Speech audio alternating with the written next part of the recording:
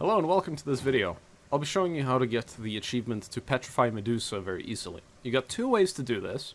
You can either A, go kill the Medusa by cutting her head off, uh, preferably with the Thief class by climbing onto her head and make doing the finishing blow with the stabbing attack. That'll cut her head off, and then you quickly fast travel back to town, store her head in the storage, and sleep for about two weeks. Then you take this head out and rush back here, and then hit her with the head. However, I believe there's a second way, and I've yet to try this, but we're about to try it right now, and I think it will work. So, I just raided the vault of eh, Vernworth Castle. There's a vault. If you head on in the castle, go back over here, you go into this basement Vernworth Castle vault. Inside this vault is a couple of things. There's some chests with a cape from the first game.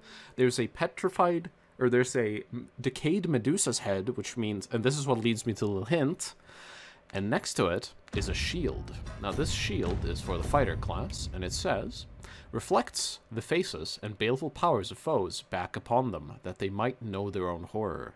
This leads me to believe that blocking with a shield will reflect the Medusa's gaze, so we're about to go try that out. Uh, if the HUD looks weird, like it's like super ghosty and weird, that's because I'm using a mod to fix my frame rate. Uh, but yeah, let's go give this a try. Where is she? Oh, there.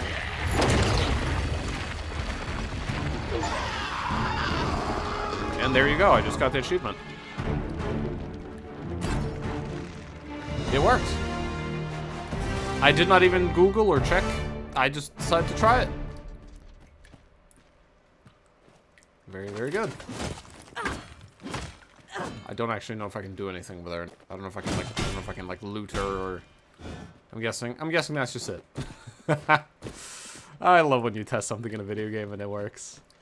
Kudos to the developers for adding that. And thank you for watching this video. If you liked it, uh, do all the things. You know what to do.